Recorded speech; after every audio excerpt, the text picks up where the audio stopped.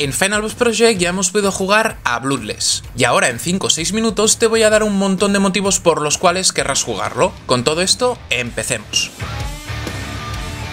Bloodless es un juego desarrollado por Point and Ship y publicado por 3D Realms. Bloodless es un juego de acción y aventuras en 2D con un enfoque en el no-hit. Los jugadores toman el control de Tomoe, una Ronin que ha jurado no volver a matar y deben enfrentarse a antiguos aliados en un combate donde la precisión y el desarme son las claves para avanzar. El juego destaca por su estética retro-pixel y sus mecánicas de contraataque basadas en reflejos evocando la tradición de juegos como Sekiro con una premisa única de no utilizar armas ni derramar sangre. La trama principal nos habla de Tomoe, una antigua samurái conocida como Tomoe la Despedazadora. Esta regresa a su tierra natal, Bakugawa, después de haber abandonado su vida como guerrera tras poder ver toda la devastación que causó. Ahora busca redención en un mundo desgarrado por la violencia y bajo el control del tiránico Shogun Akechi. A lo largo de la historia, Tomoe debe desarmar a sus antiguos aliados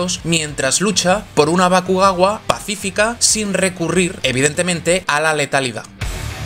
Bakugawa es un lugar afectado por la guerra donde la población vive bajo el yugo de un régimen violento. A través de su viaje, Tomoe explora diferentes entornos, desde paisajes naturales hasta ciudades maltratadas por la guerra, descubriendo las cicatrices que la violencia ha dejado en la sociedad. Tengo que decir que hay gran cantidad de escenarios y son lo suficiente diferentes para que te encuentres una experiencia completa. Además de todo eso, decir que conforme avances en la historia vas a tener el viaje rápido y eso te va a facilitar tanto las tareas secundarias como el progreso en la historia principal. Los jugadores navegan por Bakugawa enfrentando enemigos en diferentes niveles con un enfoque estratégico, utilizando dashes y parries para desarmar a sus adversarios. Cada área tiene su propia atmósfera, lo que impulsa la exploración y el descubrimiento de nuevos objetos y habilidades. Entre estos, estamos hablando los amuletos que mejoran ciertos atributos de Tomoe o un árbol de habilidad que es tremendamente necesario para pasarte el final del juego. Como os digo, las mecánicas clave de Bloodless son su combate no letal, en tanto que Tomoe utiliza sus puños para desarmar a sus oponentes basándose en contraataques y movimientos rápidos de dash. La mecánica principal gira en torno a la sincronización perfecta de estos ataques, en tanto que si lo haces bien, puedes desarmar muy fácilmente a los enemigos, pero eso requiere de una precisión extrema que cuando lo logras es tremendamente satisfactoria. Además de todo eso, Tomoe puede utilizar ataques de ki para desarmar a los enemigos con parries. Estos ataques de ki drenan la barra de compostura del enemigo y nos permite desarmarlos definitivamente. Por último quiero hacer mención a las calabazas de té. En el juego los jugadores pueden preparar diferentes tipos de té con ingredientes que encuentran, lo que les otorga beneficios como curación o aumento temporal de habilidades. A medida que los jugadores avanzan se enfrentan a enemigos más complejos y patrones de ataque mucho más difíciles. Los jefes, aunque son versiones más complicadas de enemigos regulares, requieren una mejor sincronización y dominio de las mecánicas no letales para ser derrotados.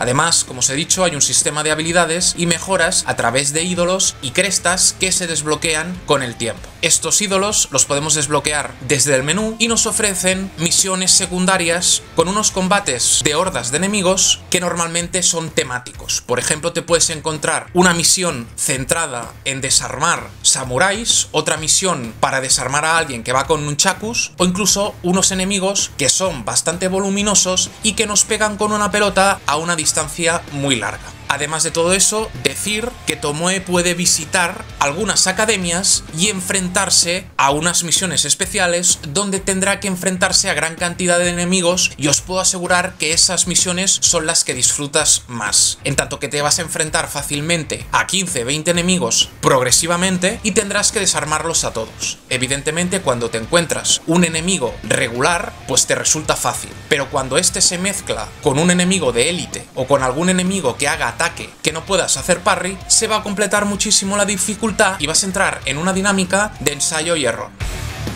Como os digo, a nivel gráfico, el estilo pixelar es uno de los aspectos más destacados de Bloodless. Con una paleta limitada pero efectiva, el juego evoca una Japón feudal llena de atmósfera, donde los colores se utilizan para resaltar personajes y enemigos. Los efectos visuales y la fluidez de las animaciones son notables para un título de este estilo retro. La banda sonora y los efectos sonoros complementan perfectamente la ambientación del juego con sonidos sutiles como el crujido de hojas caídas o el choque de espadas a lo lejos. La música tradicional añade un toque nostálgico haciendo que cada interacción y batalla tenga peso y emoción. Los dos temas principales de Bloodless son la redención y la paz y el ciclo de violencia. El primero, porque como os digo, Tomoe tiene que buscar la paz en un mundo marcado por la violencia, renunciando a la letalidad para demostrar que es posible un cambio sin recurrir a las espadas. Además de todo eso, a través de las interacciones de Tomoe con sus antiguos aliados, el juego refleja la dificultad de salir de un círculo de violencia que parece no tener fin. Al final, el simbolismo de la decisión de Tomoe de no matar refleja la lucha interna de aquellos que buscan redimirse. Los puños de Tomoe, en lugar de una espada, simbolizan su compromiso con la no violencia y su esperanza de un mundo mejor. A nivel de accesibilidad, estamos un juego diseñado con mecánicas simples y bien definidas, lo que facilita su accesibilidad y se abre para un público bastante amplio. Y por último, decir que a nivel de duración, Bloodless es una experiencia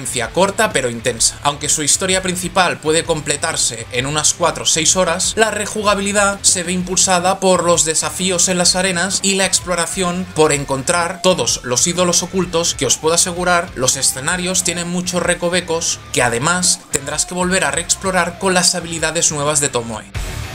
Como os digo, si estás buscando una experiencia corta pero intensa, para nosotros Bloodless es un 9 sobre 10. Creemos que su combate está muy bien pulido y evidentemente la curva de dificultad es perfecta para que te vayas asimilando a los procesos, dejándonos un combate bastante completo en la parte final del juego. Si además sumamos un último giro que es bastante emocional y una historia que se va desarrollando conforme recobramos Bakugawa y a todos sus habitantes, Bloodless es una experiencia perfecta para aquellos que busquen un desafío difícil pero tremendamente adictivo.